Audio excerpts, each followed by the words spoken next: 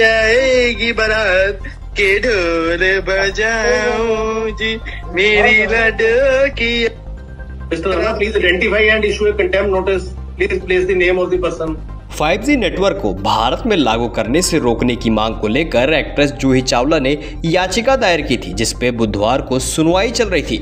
Virtual चल रही सुनवाई में एक अजीब सा वाक्य हुआ, जहाँ एक शख्स सुनवाई के दौरान लगातार जूही के फ़िल्मों का गाना गाता रहा। उसकी इस हरकत की वजह से सुनवाई थोड़ी देर के लिए बाधित हो गई। इस हरकत के बाद जस्टिस मीडिया ने शख्स की पहचान करके उस पर अवमानना की कार्रवाई करने के आदेश दिए हैं। पहले आप इस वीडियो को देखिए।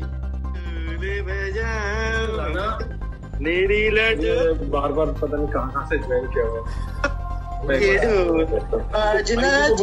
ले आइडेंटिफाई करके जस्ट रिपोर्टेड टू हमारी लड्डू के ढोल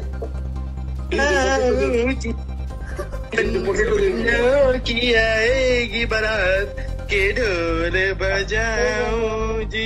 मेरी लड्डू की Mr. Rana, please identify and issue a contempt notice. Please place the name of the person. Well, it a lighter vein, or perhaps that individual has been overly aggrieved by 5G radiation or maybe 4G radiation.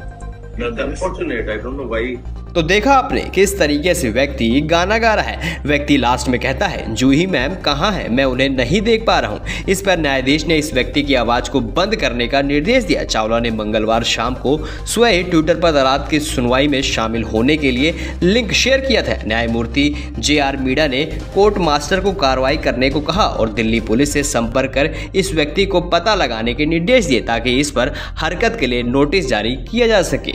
अब आपकी क्या राय इस video को लेकर हमें comment section में comment करके ज़रूर बताइए। मैं अमन यादव वीके न्यूज़ दिल्ली।